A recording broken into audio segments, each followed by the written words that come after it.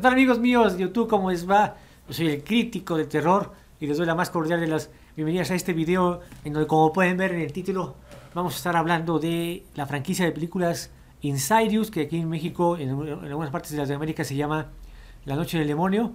Así que dejen sus eh, likes, pasen el video, comenten. Eh, ya somos casi 1200 en el canal.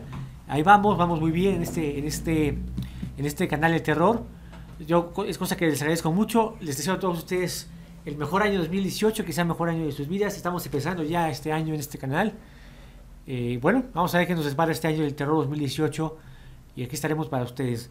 Eh, bueno, vamos a empezar porque son tres películas, hay que hablar de ellas. Viene una cuarta en camino, por eso hacemos este video. La cuarta se estrena este fin de semana en, en las salas de este país, en México y en el mundo también. Y bueno, vamos con esta franquicia Insidious, La Noche del Demonio, es una franquicia de películas de terror que inició con la primera, obviamente, que se estrenó el 14 de septiembre de 2010 en el Festival de Cine Internacional de Toronto. Eh, es, escrita y, eh, por James Wan, hace el, guion también él, pero lo escribe, sobre todo la historia la escribe su amigo Leigh Warner, los dos creadores de la franquicia de Juego del Miedo. Eh, ellos hicieron esta franquicia. Todas las, películas las, ha escrito hasta el momento Leigh Whannell. James Wan más ha dirigido las primeras dos. Leigh Whannell, van, a, van a la, tercera. Eh, la, producen, la entre otros Oren Pelli, las cuatro películas. Oren Pelli es el, que nos trajo la franquicia, dirigió la primera de Actividad Paranormal, Actividad eh, Paranormal, Paranormal Activity. Entonces produce esta película, entonces es, pues digamos como garantía, ¿no?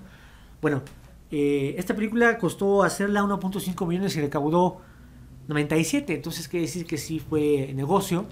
Una, película de terror de bajo presupuesto eh, logra tener mucho dinero, ¿no? ¿De qué es esta película? Esta película trata sobre eh, una familia, es el papá que hace Patrick Wilson que se llama Josh, la mamá que se llama Renai, tiene sus, sus hijos Dalton y Foster y una niña chiquita que se llama Cali. Ellos pues está, está todo bien. De repente su hijo mayor, su hijo que se llama, que se llama Dalton, tiene, pues cae como un, como un estado de, coma, de coma, y este, y lo llevan al hospital. En el hospital no saben qué onda, está ahí unos días. Se lo llevan a su casa, y en su casa lo tienen ahí y empiezan a pasar cosas paranormales en su casa. Empiezan a oír, empiezan a oír cosas, empiezan a ver algunos, algunas cosas también.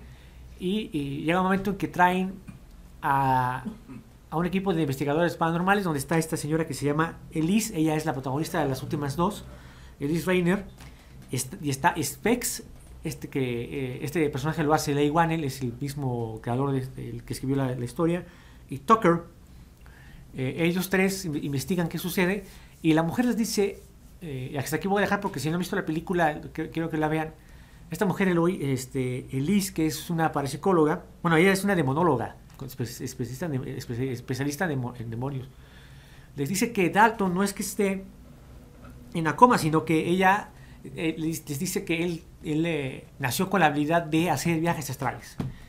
Hace viajes astrales cuando él está dormido, como muchos, muchas personas en este mundo hacen, solo que él no pudo regresar. ¿sí? Eh, yo conozco un poco este tema porque tuve hace no muchos, mucho tiempo un, podcast esotérico con Marco, a quienes les recomiendo su canal que se llama Conciencia 2020, venlo ahí.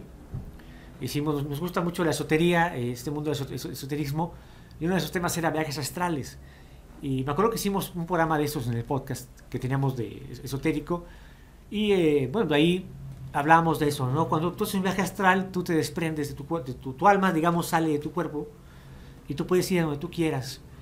Eh, nada más que te puedes llegar a perder porque eh, cuando tú te sales, pues no tienes mucho control. Si tú, si tú no aprendes a tener control de eso, te puedes perder muy fácilmente. Y además, este, quizás, quizás hagamos un video de eso aquí en este canal, hablando de viajes astrales, con Marco, que sabe más de, esto que yo. Lo que sucede, como les dice ella, es que él se queda perdido en un lugar que se llama The Forter, así dice The Forter, lo lejano. Eh, ¿Qué sucede cuando tú haces, un viaje astral? Eh, si tú no lo controlas, si tú no sabes bien cómo hacer esos viajes, eh, uno, de los aspectos de bajo astral, como hay muchísimos en, los planos existenciales que hay arriba de nuestra, de nuestra, nuestra existencia, eh, se puede meter a tu cuerpo. esos demonios están, esos eh, demonios y energías que están eh, en ese plano que tú, en el que tú viajas se pueden meter a tu cuerpo, ¿no?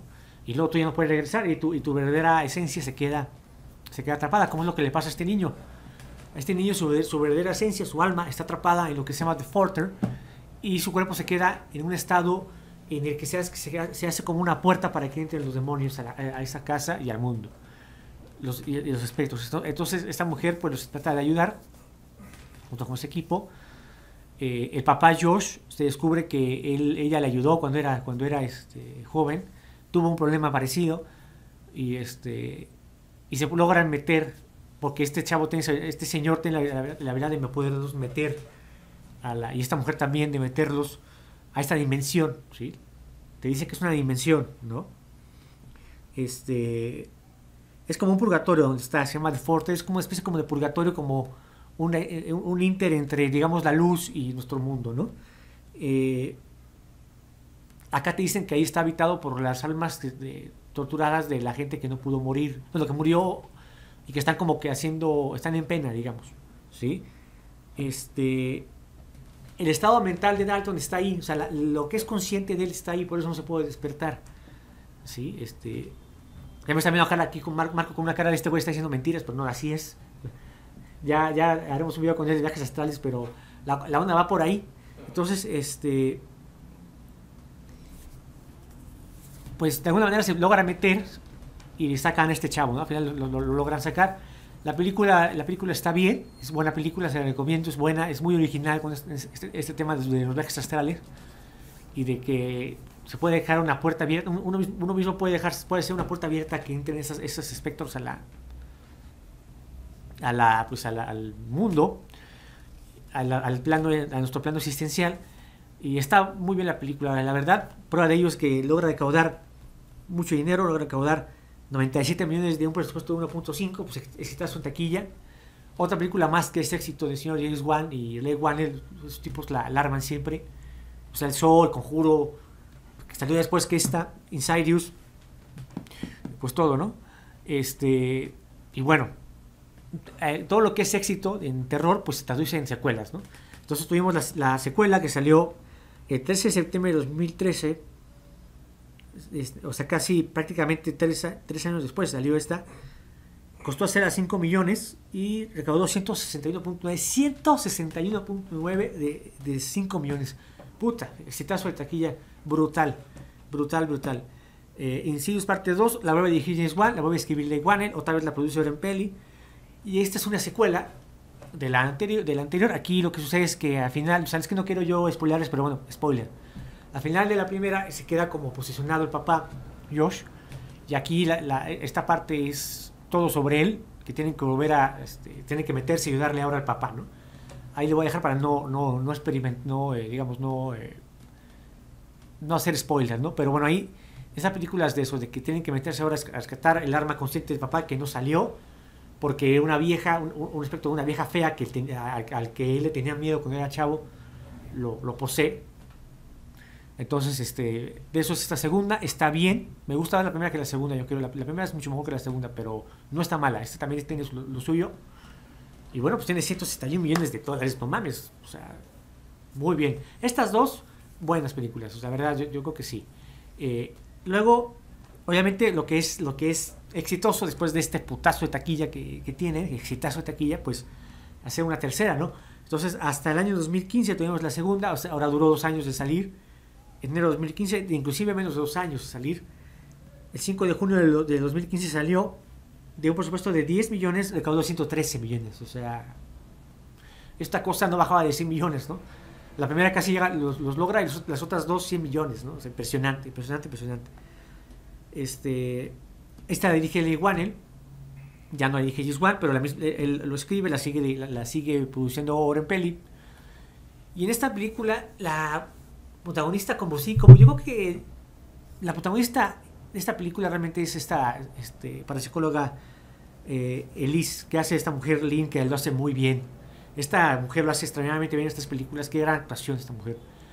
Aquí nos vamos al pasado, nos vamos a a, una situación que sucedió antes de lo que pasó en la primera, nos ponen, nos ponen un caso de una niña, muy parecido, de una niña eh, a la que tiene que ayudar otra vez esta, esta, esta mujer, eh, Elise. es como... Es que es como precuela, realmente no tiene mucho, no tiene tanto que ver con, con las otras dos. Solo el hecho de que, de que se menciona eh, cuando ella le ayudó a Josh y este nada más, ¿no? Pero es antes de las primeras dos películas, este, o sea que la, el orden sería hasta el momento 3, 1, 2, ¿no? Eh, sucede algo con una chava y otra vez ella tiene que ayudarla a meterse a esta dimensión y todo esto. Eh, no está tan mal. Me gusta, yo creo esta es la que menos me gusta de las tres hasta el momento. Pero es una saga que ha, yo creo que ha estado sólida. ¿eh? La, verdad es que no, no te puedo decir que está muy mal. La película esta tiene también cosas muy padres. Tiene esta cosa del hombre que tiene una máscara de oxígeno, el hombre que no puede respirar, algo así era. Que está, que está padre. Y, este, y está bien yo pondría primero la primera, luego la segunda y esta, así como orden, orden de calidad, ¿no? Y ahora vamos a tener este año, este 5 de enero, o sea, este viernes, se va a estrenar de manera mundial eh, esta película Ensayos 4, eh, The Last Key, La Última Llave. Esta va a ser una secuela de la precuela, o sea, secuela de la tercera película. Entonces sería tercera, cuarta, 1 y 2, aquí el orden cronológico. Aquí vamos a ir a otro evento que sucedió después, de, lo que de lo que vimos en la tercera, de esta niña que tiene ese pedo, que, que tiene que ayudar a Elise. Elise ya se había retirado, pero después de lo que sucedió con la niña, se, después cuando se une a Tucker y a, este señor, este, a Tucker y Specs, hace su grupo y es cuando luego ya vienen a esta, esta, esta, esta película sí va a ligarse con la primera, seguro que han dicho. La dirige Adam Robitel, la vuelve a escribir Leigh la produce James Wan, como la ha puesto siempre, y ahora en peli también. Y aquí lo que dice, porque lo, que, único que tenemos de información es que después de los eventos de la, película anterior, Elise va a investigar unos eventos sobrenaturales que pasaron en a una familia en Nuevo México, en una casa en la que ella vivió cuando era joven. ¿no? Este, y ella va, en es, dicen que ahí es cuando ella conoce bien el mundo de, este mundo al que le llama esta franquicia de Forter, ¿no? El, lo, lo, lejano, lo que está lejos. Entonces, con esto ya vamos a ligarnos a la primera película de Insidious, Entonces, va a quedar como otra vez, repito, este, 3, 4, 1, 2. Entonces, ahí vamos. Yo recomiendo las, las tres, sí, sí, las, las, recomiendo, las, se van a pasar muy bien con las tres películas, sobre todo con la primera, que es muy buena película de terror, realmente muy original. A mí me encanta esto de los viajes astrales, es, algo que me gusta. Repito, vamos a hablar aquí en este canal un video especial con Marco, ya lo comprometí ahorita. Vamos a hacer un video aquí para hablar de ese tema en un café terror especial de los viajes astrales, para que comprendamos un poco más cómo, se, cómo sucede este, este desmadre, ¿no? esta, cosa de los viajes astrales, pero está muy, muy interesante. esta película me gusta, por eso es muy original en eso. Y pues bueno, véanlas y luego vayan a ver la cuarta que sale ahora este fin de semana. Tendremos su review en este canal, obviamente. Igual hacemos uno ahí saliendo, ya saben, saliendo de, de la película y luego ya uno bien. Y bueno, eh, Viene por ella eh, la, la, crítica a La Cosa y John Carpenter. Y ya viene la, de Suspiria y muchas sorpresas más aquí en este canal. Ya vamos a estrenar pronto nuestro, nuestra sección de asesinos en serie. Así que estén al, pendiente. Y bueno, esperemos que sea el mejor año para nosotros este año del terror 2018. Cuídense mucho, acuérdense que el terror no es nada más un género del cine, es también un estilo de vida. Nos vemos. Bye.